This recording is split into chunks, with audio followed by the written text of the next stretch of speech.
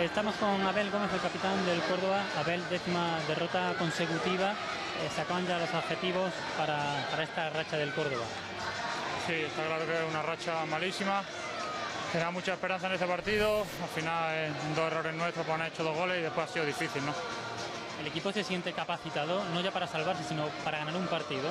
Sí, está claro, ¿no? Lo que pasa que, como te digo, al final los errores los estamos pagando muy caro y, y nada, solo queda reponernos, quedan nueve partidos por delante y a dar el máximo en lo que queda.